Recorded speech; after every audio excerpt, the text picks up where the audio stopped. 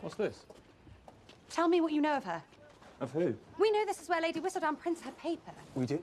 Why did you think we were here? I think you might be lost. I think you're evading my question. You never asked me a question. What are those papers? Nothing for the likes of you. Perhaps you might get your trivial gossip from somewhere else. That is not what.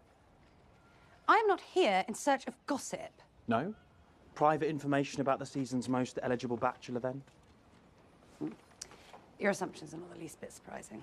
After all, a woman is allowed to have but two interests marriage or spewing slander about her peers, apparently. It would certainly never occur to you that I'm, in fact, hoping to find the writer so that we may discuss much more intellective matters.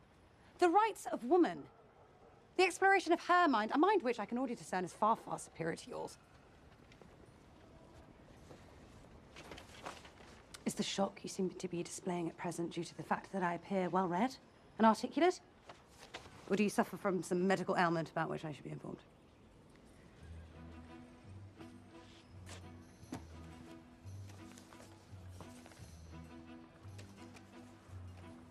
This is not. If women's rights are what you're after, then perhaps that is what you need to be reading. New thoughts, unsettling ideas. Not too unsettling for you, I hope. Though, if I should ever see Lady What's Her Name, I'll be sure to let her know that her leading admirer says hello.